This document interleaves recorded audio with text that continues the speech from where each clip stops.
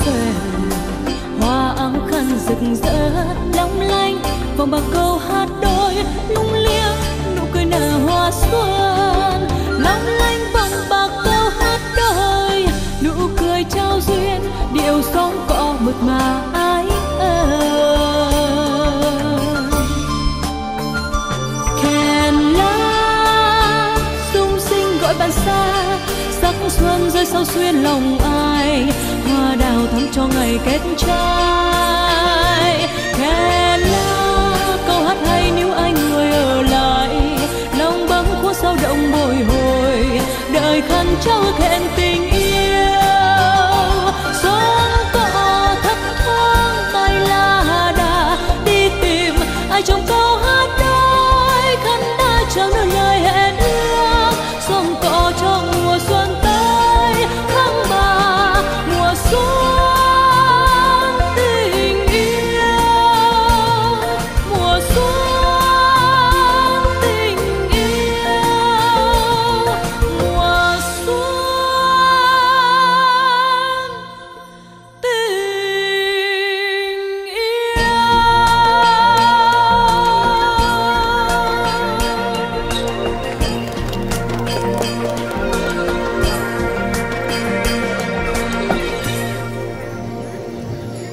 nhiệt liệt chào mừng quý vị đại biểu, khách quý cùng toàn thể nhân dân và du khách đã tới dự chương trình lễ công bố quyết định của Ủy ban nhân dân tỉnh Quảng Ninh công nhận xã Húc Động đạt chuẩn nông thôn mới năm 2022 và khai mạc ngày hội xóm cỏ năm 2024.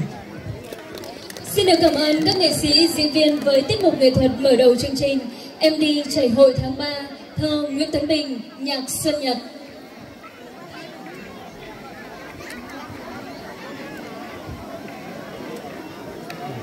Kia là hiệu hiệu. Hiệu hiệu hiệu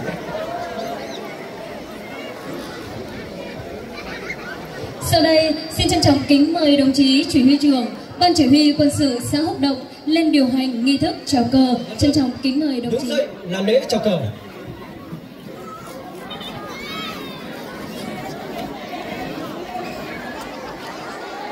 Chỉnh đốn trang phục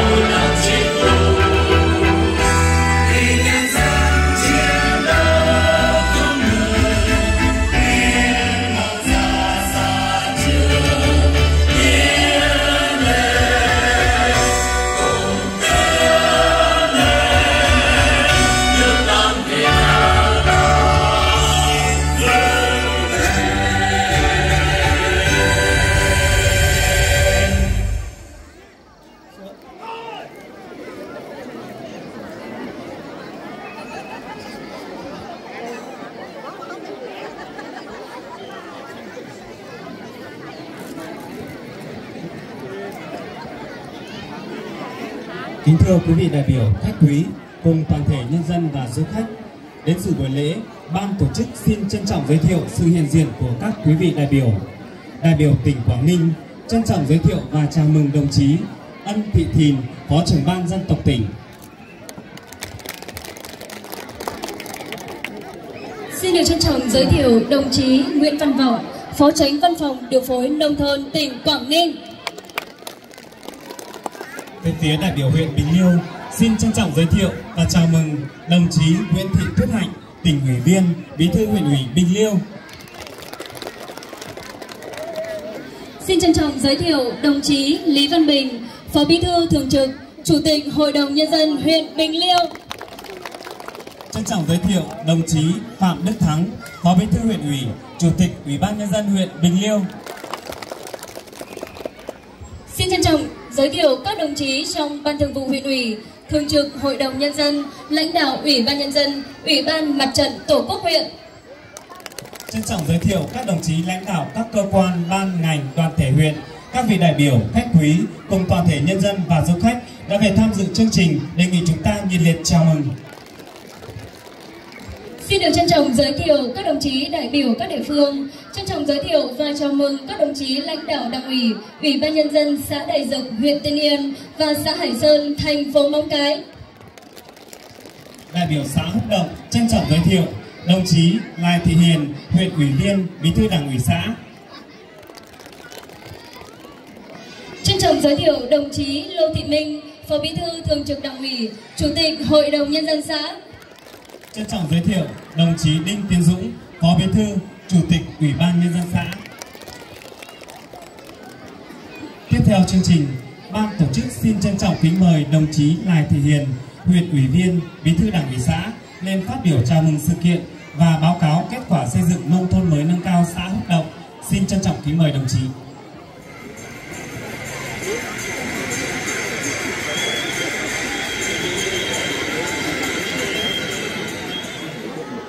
Kính thưa đồng chí Ân Thị Hiền. Phó trưởng ban dân tộc tỉnh Quảng Ninh. Kính thưa đồng chí Nguyễn Văn Vọng, Phó tránh văn phòng điều phối nông thôn mới tỉnh Quảng Ninh. Kính thưa đồng chí Nguyễn Thị Tuyết Hạnh, Ủy viên ban chấp hành Đảng bộ tỉnh, Bí thư huyện ủy Bình Liêu. Kính thưa đồng chí Lý Văn Bình, Phó Bí thư thường trực huyện ủy, Chủ tịch Hội đồng nhân dân huyện. Kính thưa đồng chí Phạm Đức Thắng, Phó Bí thư huyện ủy, Chủ tịch Ủy ban nhân dân huyện. Kính thưa các đồng chí lãnh đạo đại diện cho các sở ban ngành của tỉnh. Kính các đồng chí thường trực Hội đồng nhân dân, lãnh đạo Ủy ban nhân dân huyện, các đồng chí ủy viên ban thường vụ huyện ủy, lãnh đạo các ban đảng, văn phòng huyện ủy, mặt trận tổ quốc và các tổ chức chính trị xã hội huyện, lãnh đạo các phòng ban chuyên môn, các cơ quan đơn vị thuộc huyện, lãnh đạo các xã, thị trấn trong và ngoài huyện. Kính thưa các đồng chí lãnh đạo, nguyên lãnh đạo xã hội động, các vị đại biểu khách quý cùng toàn thể bà con nhân dân trong không khí phấn khởi chào mừng kỷ niệm 70 năm chiến thắng Điện Biên Phủ, lừng lẫy các trò với phấn trường của thôn đại hồ, quốc đột phá, nhất là vấn đề xử lý rác thải, dân cư và cải tạo cảnh quan nông thôn sạch xanh sạch đẹp.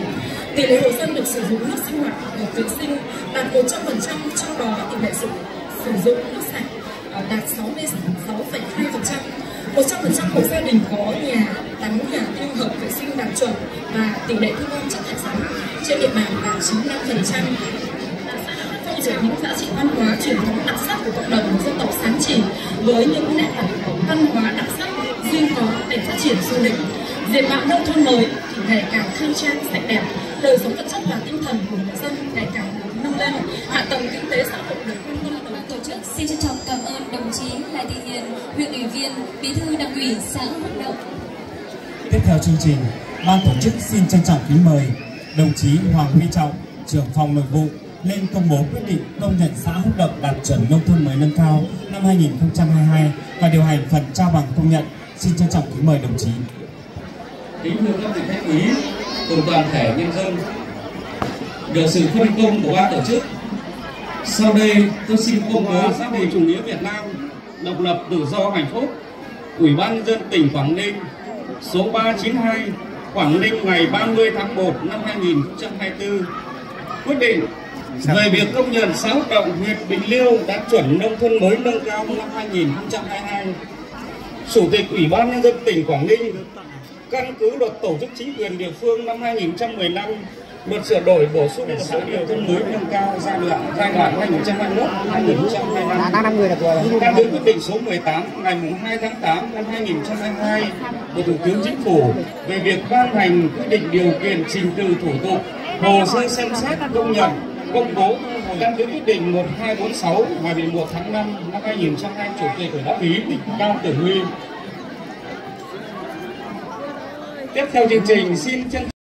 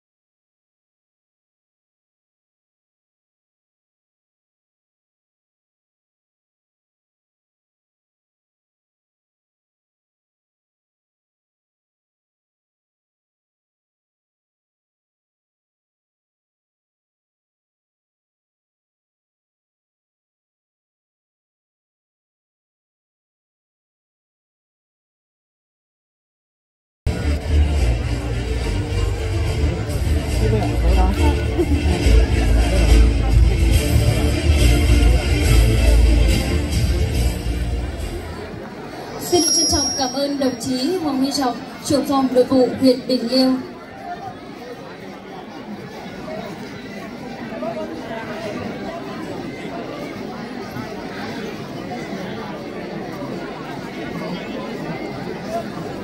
Kính thưa quý vị, sau đây bác để chúc mừng sự kiện hôm nay, lãnh đạo Văn phòng điều phối nông, mới, nông thôn mới tỉnh Quảng Ninh, lãnh đạo các xã Đại Dực, huyện Tiên Yên, Hải Sơn, thành phố Móng Cái, lãnh đạo các xã thị trấn trong huyện Bình Liêu đã gửi đến những lăng hoa tươi thắm.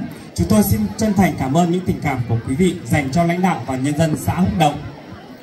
Kính thưa quý vị, sau đây ban tổ chức xin trân trọng giới thiệu và kính mời đồng chí Phạm Đức Thắng, Phó Bí thư huyện ủy, Chủ tịch Ủy ban nhân dân huyện lên phát biểu chúc mừng và chỉ đạo các nhiệm vụ xây dựng nông thôn mới nâng cao tại xã Húc Động. đồng chí Ân Thị Thìn, Phó trưởng ban dân tộc tỉnh. Kính thưa đồng chí Nguyễn Văn Vọng, Tiếp theo chương trình, ban tổ chức trân trọng kính mời đồng chí Hoàng Huy Trọng, trưởng phòng nội vụ lên thực hiện nghi thức quyết định tặng bằng khen của Chủ tịch Ủy ban nhân dân tỉnh cho xã Húc Động vì đã có thành tích xuất sắc trong triển khai thực hiện nhiệm vụ xây dựng huyện Bình Liêu đạt chuẩn nông thôn mới năm 2023. Trân trọng Kính mời khách quý cùng toàn thể nhân dân. Tiếp theo chương trình được sự phân công của ban tổ chức sau đây tôi xin công bố quyết định và thực hiện nghi thức trao tặng bằng khen cho xã Úc Động vì đã có thành tích xuất sắc trong triển khai thực hiện nhiệm vụ xây dựng huyện Bình Liêu đạt chuẩn nông thôn mới năm 2023.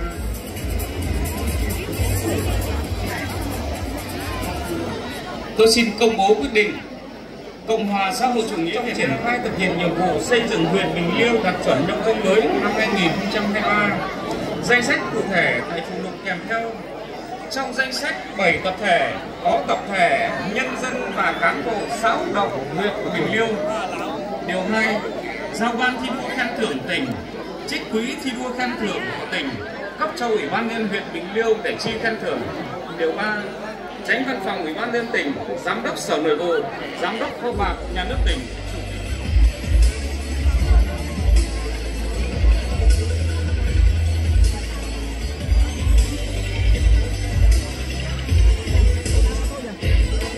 chưa chưa cháu ấy cái bằng cái đi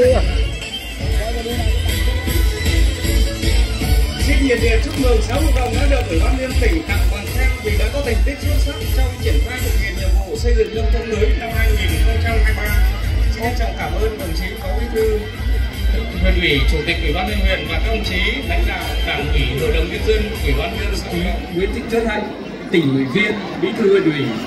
Kính thưa đồng chí Ân Thị Thìn, phó trưởng ban dân tộc tỉnh. Kính thưa đồng chí Nguyễn Văn Vọng, Phó Tránh Văn phòng Điều phối Nông thôn mới tỉnh Quảng Ninh. Kính thưa các đồng chí lãnh đạo nguyên ủy, hội đồng nhân dân, ủy ban nhân dân huyện, các lãnh đạo các ban ngành đoàn thể của huyện. Kính thưa các quý vị đại biểu, khách quý và toàn thể nhân dân. Hôm nay, Đảng Nghệ Sán Chỉ cùng với nhánh người Cao Lan thuộc dân tộc Sán Chay là một trong các tộc người thiểu số của huyện Bình Liêu, sinh sống thành cộng đồng làng bản, cư trú phần lớn ở xã Húc Động. Cùng với việc bảo tồn và phát huy các giá trị bản sắc văn hóa truyền thống của dân tộc mình thông qua ngôn ngữ, trang phục, tập quán sinh hoạt, lao động, thì hát sóng cọ được người Sán Chỉ gìn giữ, duy trì, sử dụng trong sinh hoạt hàng ngày. Thật vinh dự và tự hào khi hát sóng cọ của người Sán Chỉ ở Quảng Ninh được công nhận là di sản văn hóa phi vật thể quốc gia. Đây là điều kiện để người Sán Chỉ bảo tồn và phát huy tốt hơn nữa giá trị văn hóa của dân tộc mình. Ở xã Húc Động, người Sán Chỉ chiếm khoảng 82%. Đây cũng là xã có người Sán Chỉ cư trú đông nhất huyện. Hội Sóng Cọ hay còn gọi là Hội Hát tháng 3 của đồng bào Sán Chỉ nơi đây đã có từ lâu đời. Đặc biệt, từ năm 2005 đến nay, huyện Bình Liêu đã phục dựng và duy trì tổ chức thường niên hội sóng cọ một cách bài bản quy mô. Qua đó, góp phần gìn giữ một di sản văn hóa tinh thần quý báu, thể hiện truyền thống tốt đẹp và bản sắc riêng của tộc người Sán Chỉ, huyện Bình Liêu, Quảng Ninh, đồng thời tạo nên sản phẩm du lịch văn hóa độc đáo, phục vụ khách đến tham quan du lịch. Để chào mừng sự kiện lễ công bố quyết định xã Hữu Động đạt chuẩn nông thôn mới năm hai, nâng cao năm 2022 và khai mạc ngày hội sóng cỏ năm 2024. Sau đây, xin trân trọng kính mời quý vị đại biểu cùng nhân dân và du khách đến với chương trình nghệ thuật với chủ đề Tháng 3 mùa ước hẹn. Chỉ đạo nội dung, Ủy ban nhân dân huyện Bình Liêu, đơn vị thực hiện, Trung tâm Truyền thông Văn hóa huyện Bình Liêu, đạo diễn, biên đạo, nghệ sĩ vùng mỏ Hà Ngọc, Hà Thắm, biểu diễn, nghệ nhân, diễn viên xã Quốc Động. Trân trọng kính mời quý vị đại biểu, nhân dân và du khách cùng thưởng thức.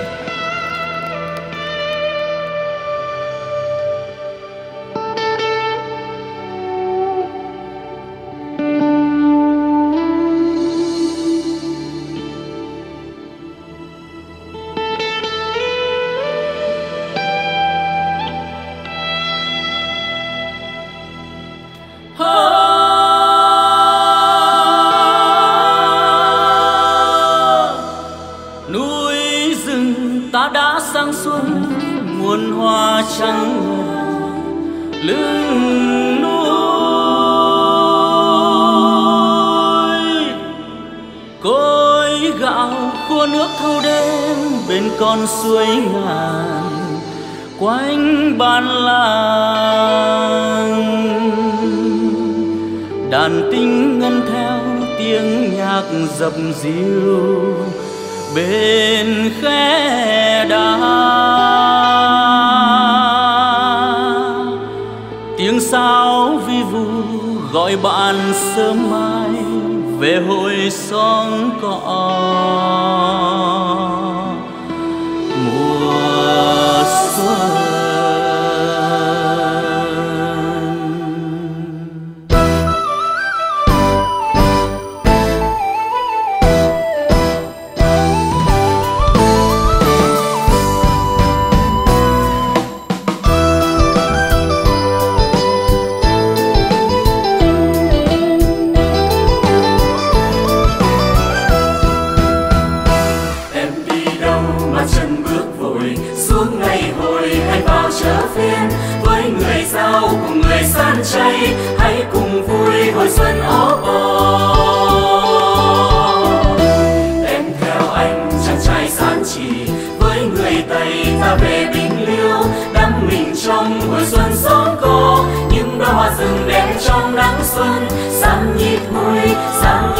nhịp vui sáng nhịp vui sáng nhịp vui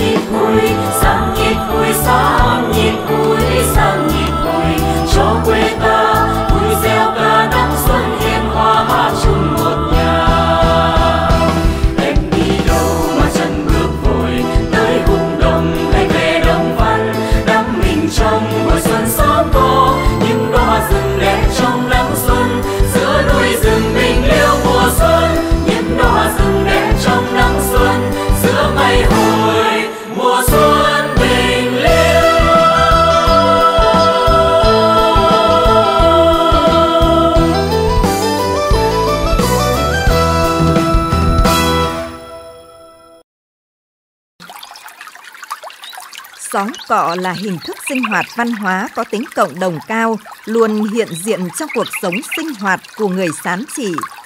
Đôi lứa đang yêu thì dùng lời hát thể hiện tâm tư, tình cảm gửi tới người thương.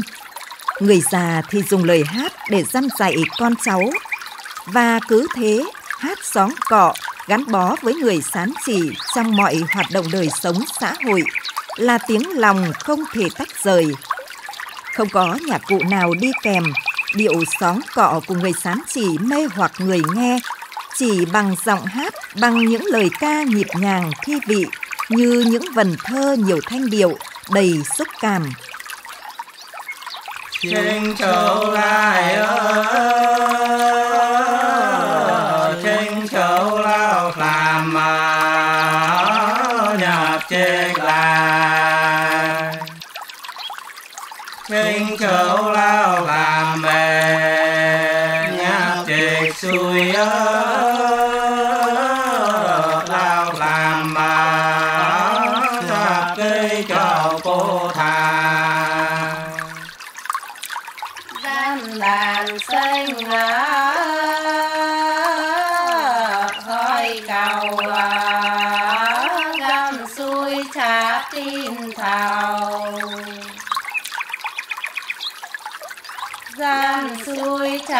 trả lệ còn ai cao hơn?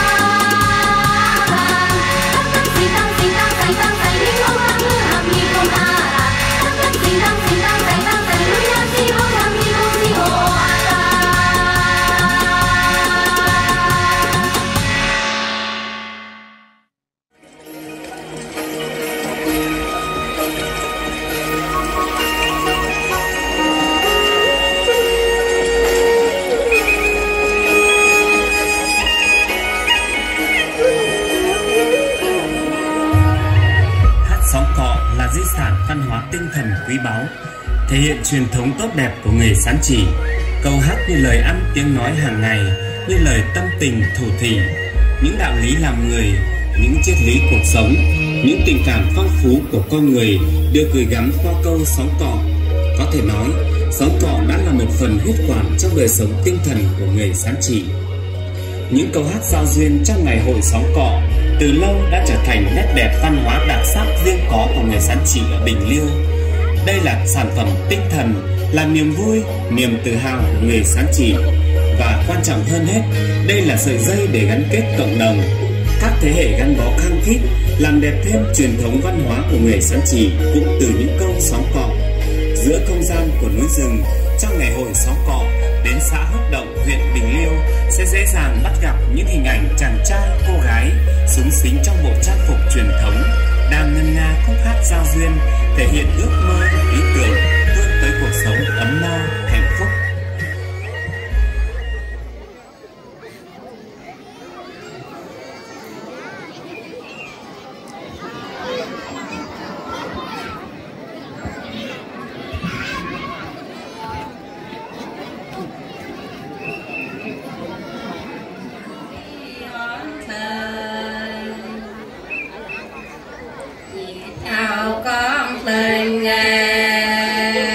chiều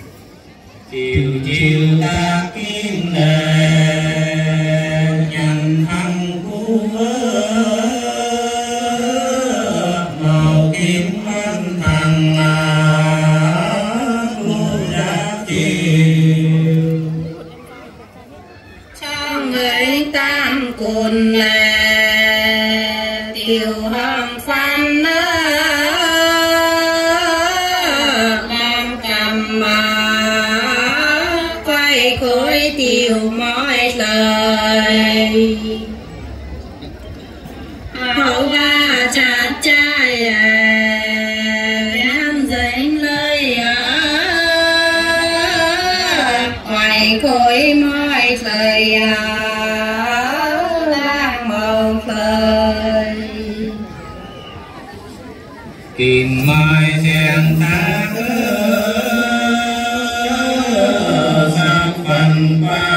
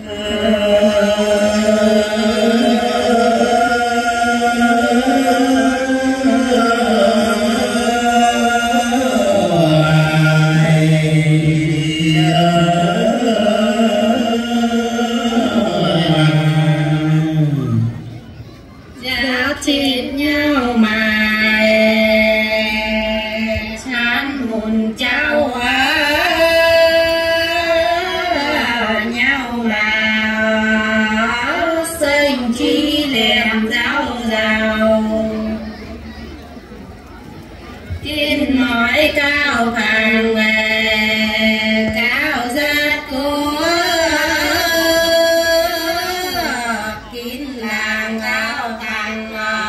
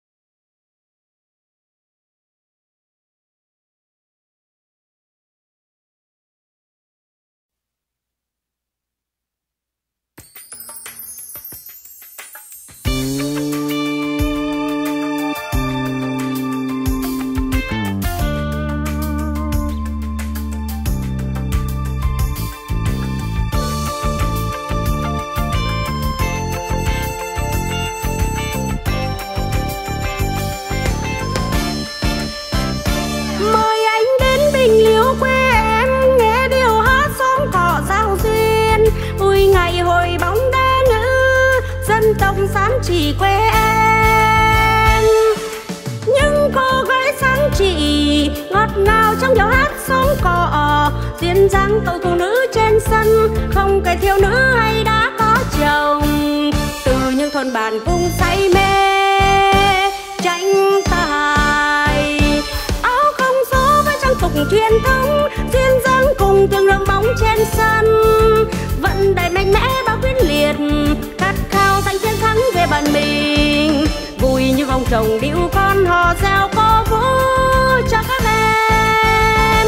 Những cô gái sáng chỉ đá bóng, hương sắc rừng cô về trốn nơi đây. Trong từng ánh mắt mỗi tháng cười, khi ban giành chiến thắng bao dạng ngời. Chỉ có ở bình liêu quê em mới có. Nên riêng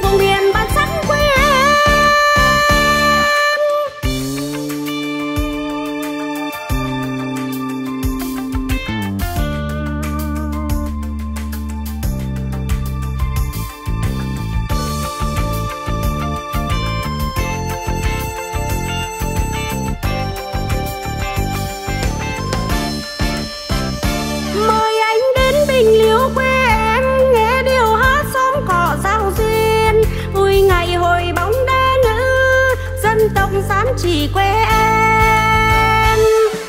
Những cô gái sáng chỉ, ngọt ngào trong điệu hát xóm cỏ duyên dáng cầu thủ nữ trên sân, không kể thiếu nữ hay đã có chồng. Từ những thôn bản cung say mê, tranh tài. Áo không số với trang phục truyền thống, duyên dáng cùng từng rồng bóng trên sân. Vẫn đầy mạnh mẽ bao quyết liệt cao tay chiến thắng về bàn mình. Vui như vòng trồng điệu con hò reo có vũ cho các em những cô gái sáng chỉ đã bóng, hương sắc rừng tu về trốn nơi đây. Trong từng ánh mắt mỗi thắng cười, khi ban giành chiến thắng bao dạng người chỉ có ở bình liêu quê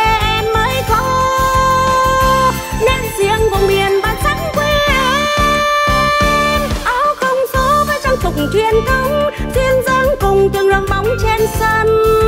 Vẫn đầy mạnh mẽ bao quyết liệt, khát khao giành chiến thắng về bản mình. Vui như vòng trồng điệu con hò reo có vũ cho các em. Những cô gái sáng chỉ đá bóng, hương sắc rừng cùng về trốn nơi đây. Trong từng ánh mắt mỗi tháng cười, khi ban giành chiến thắng bao dặn người chỉ có họ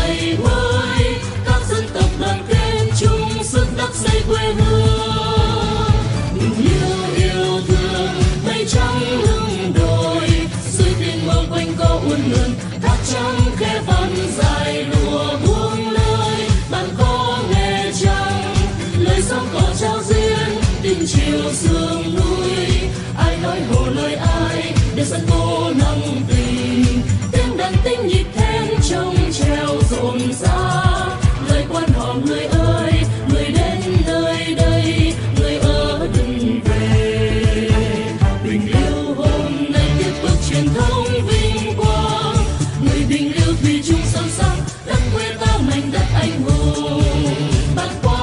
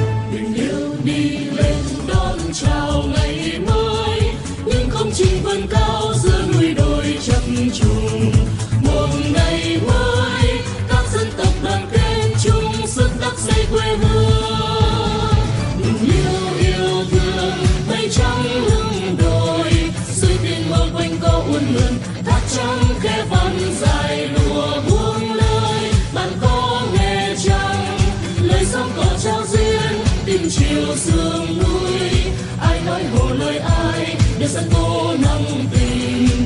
Tiếng đàn tinh nhịp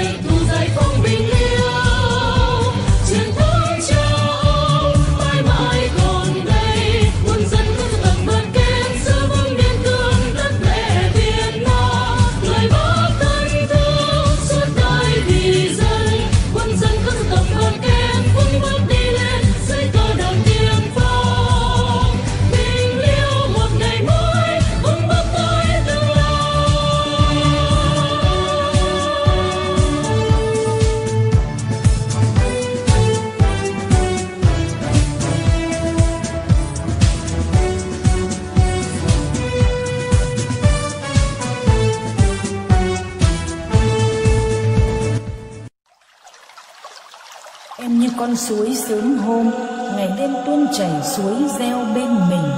Thấy em trẻ đẹp tươi xinh, Lòng anh như có lửa hồng trong tim. Lời anh nói như bánh có đường, Em muốn dùng bánh nhưng không dám. Hẹn anh hội song cọ tháng ba, Hát cùng em bản tình ca bên suối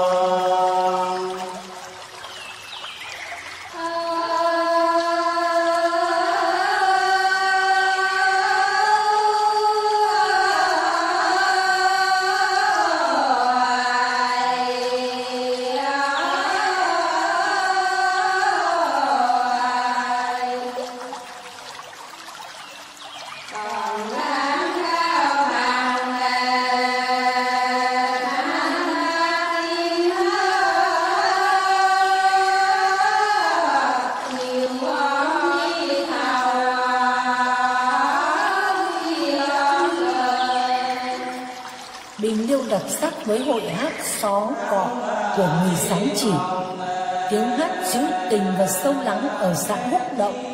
Ngày hội xóm cọ là ngày hội lớn nhất trong năm của đồng bào dân tộc sáng chỉ, diễn ra vào ngày 16 tháng 3 âm lịch. Hát xóm cọ bắt nguồn từ câu chuyện truyền thuyết về một vị nữ thần thi ca được lưu truyền trong cộng đồng người sáng chỉ với nhiều ý nghĩa nhân văn sâu sắc những câu hát giao duyên cũng vì thế mà từ bao đời nay đã trở thành nét đẹp văn hóa đặc sắc là sản phẩm tinh thần niềm tự hào của người sáng chỉ.